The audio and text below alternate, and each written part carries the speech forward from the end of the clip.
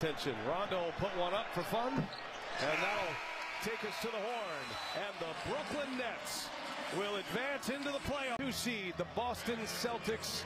That will begin on Sunday, and that is going to be some series. Kyrie Irving going back to Boston. He's heard the boos before, and he'll certainly hear them Sunday. Cleveland back to the drawing board. They'll, Jared put it right. Third most important player and he proved that here tonight. An embrace for Garland and Kyrie Irving. Darius Garland, Garland patterning his game